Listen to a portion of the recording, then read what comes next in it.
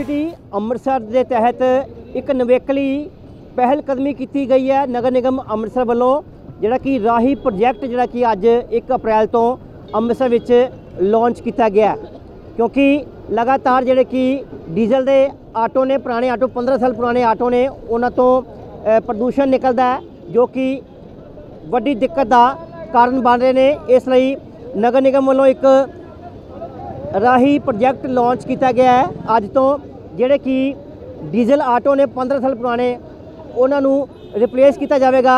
ਇਹ ਤੁਸੀਂ ਆਟੋ ਦੇਖ ਸਕਦੇ ਹੋ ਈ ਰਿਕਸ਼ਾ ਆਟੋ ਹੈ, ਇਹਨਾਂ ਦੇ ਨਾਲ। ਤੇ ਨਾਲ ਨਾਲ ਸਬਸਿਡੀ ਵੀ ਦਿੱਤੀ ਜਾ ਰਹੀ ਹੈ, ਸਵਾ ਲੱਖ ਰੁਪਏ ਦੀ।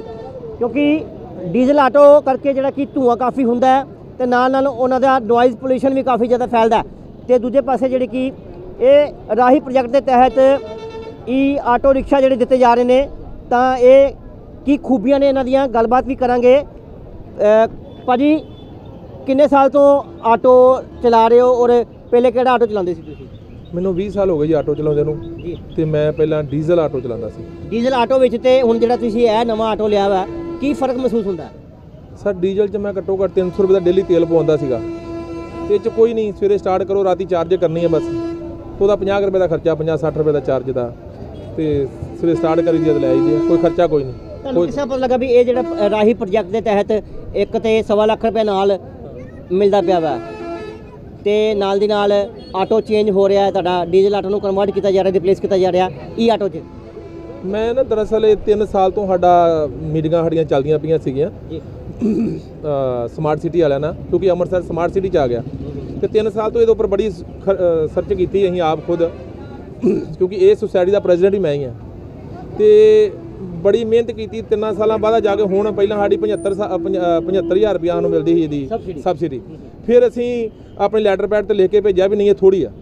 ਤੇ ਫਿਰ ਅਸੀਂ 1 ਲੱਖ 40000 ਰੁਪਇਆ ਸਾਨੂੰ ਹੁਣ ਮਿਲਦਾ ਵਾ ਟੋਟਲ ਜੇ ਅਸੀਂ ਆਟੋ ਜਮ੍ਹਾਂ ਕਰਾ ਹਾਂ ਡੀਜ਼ਲ ਤੇ।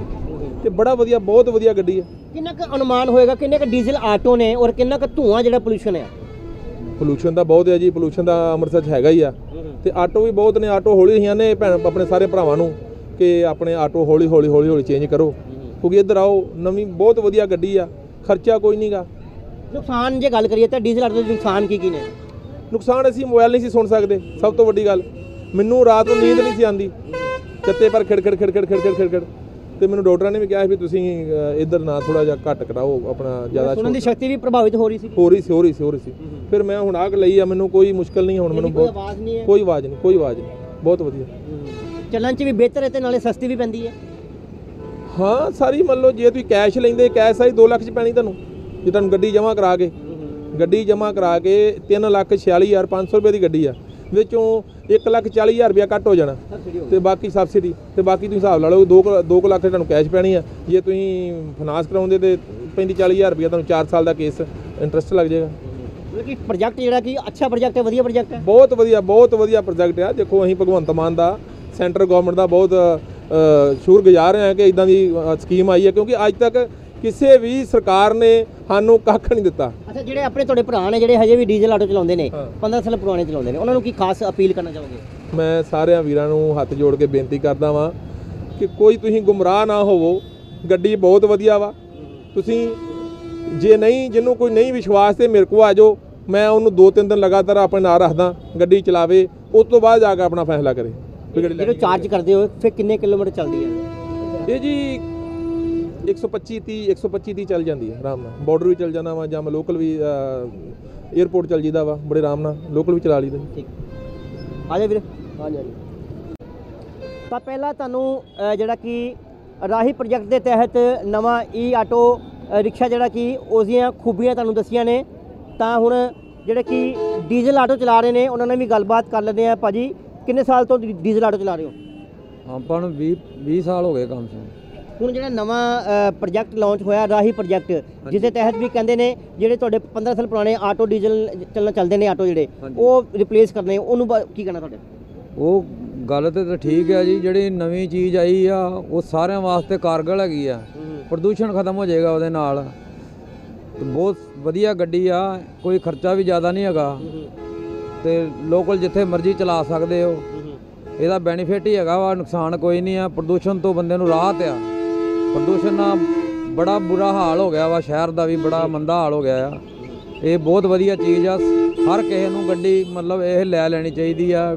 ਜਿਹੜੇ ਈ ਰਿਕਸ਼ਾ ਵਾਲਾ ਨਵਾਂ ਆਇਆ ਬੈਟਰੀ ਬੈਟਰੀ ਵਾਲਾ, ਇਹ ਸਾਰਿਆਂ ਨੂੰ ਫਾਇਦਾ ਇਹਦੇ 'ਚ। ਅੱਛਾ ਜਦੋਂ ਤੁਸੀਂ ਇਹ ਚਲਾਉਂਦੇ ਹੋ ਡੀਜ਼ਲ ਵਾਲਾ ਆਟੋ ਤੇ ਕਾਫੀ ਜ਼ਿਆਦਾ ਆਵਾਜ਼ ਵੀ ਜਿਹੜੀ ਕਰਦਾ ਹੈ। ਹਾਂ ਆਵਾਜ਼ ਬੜੀ ਆਵਾਜ਼ ਕਰਦਾ ਹੀ ਆ ਜੀ ਖੜ ਖੜ ਖੜ ਕੋਈ ਕਿਤੋਂ ਖੜ ਖੜ ਖੜ ਖੜ ਕਰਦਾ ਰਿਹਾ। ਇਹਦੇ 'ਚ ਕੋਈ ਆਵਾਜ਼ ਨਹੀਂ ਹੈਗੀ ਜਿਹੜੇ ਨਵੀਂ ਗੱਡੀ ਆਈ ਆ ਇਹਦੇ 'ਚ ਆਵਾਜ਼ ਨਹੀਂ ਹੈਗੀ ਕੋਈ। ਡੀਜ਼ਲ ਆਟੋ ਚਲਾਉਣ ਨਾਲ ਕੰਨਾਂ ਤੇ ਫ਼ਰਕ ਪੈਂਦਾ ਕੋਈ ਕੰਨਾਂ ਦੇ ਪਰਦਿਆਂ ਤੇ ਫ਼ਰਕ ਪੈਂਦਾ ਸੁਣਨ ਤੇ ਫ਼ਰਕ ਪੈਂਦਾ ਕੋਈ। ਫ਼ਰਕ ਬਹੁਤ ਪੈਂਦਾ ਆ ਜੀ ਫ਼ਰਕ ਪੈਂਦਾ ਆ ਦਿਲ ਧੜਕਣ ਜਿਹੜੀ ਆ ਉਹ ਗੱਡੀ 'ਚ ਵਾਈਬ੍ਰੇਸ਼ਨ ਲੱਗਾ ਰਹਿੰਦਾ ਸਰੀਰ ਵੀ ਵਾਈਬ੍ਰੇਸ਼ਨ ਰਹਿੰਦਾ ਵਾ। ਆਹ ਗੱਡੀ ਤੁਸੀਂ ਚਲਾ ਕੇ ਦੇਖੀ? ਹਾਂਜੀ ਇਹ ਬਹੁਤ ਵਧੀਆ ਗੱਡੀ ਆ ਜੀ। ਬਿਨਾ ਹਾਂ ਬਿਲਕੁਲ ਸਮੂਥ ਆ ਚੁੱਪ ਕਰਕੇ ਮਤਲਬ ਪਤਾ ਨਹੀਂ ਲੱਗਦਾ ਪਾਣੀ ਵਾਂਗੂ ਜਾਂਦੀ ਹੈ। ਫਿਰ ਤੁਸੀਂ ਬਦਲ ਲਿਓ ਆਪਣਾ ਡੀਜ਼ਲ ਆਟੋ? ਹਾਂ ਆਟੋ ਬਦਲਣਾ ਜੀ ਡੀਜ਼ਲ ਵਾਲਾ।